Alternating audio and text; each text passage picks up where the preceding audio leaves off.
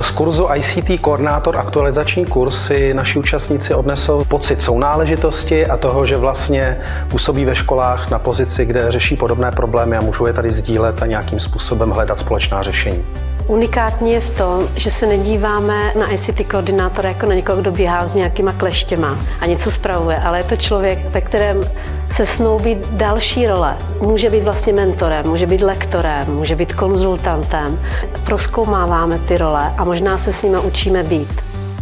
Kurs je pro každého koordinátora, který absolvoval základní vzdělávání v oblasti ICT koordinátorů a je úplně jedno, jestli jste to dělali před deseti lety nebo před rokem, přijďte se dál s námi vzdělávat. Naši účastníci odchází nadšení, že zjistil, že třeba nemusí pořád jenom doplňovat papír do tiskárny, ale můžou se věnovat i svým kolegům ve sborovně a svému dalšímu rozvoji.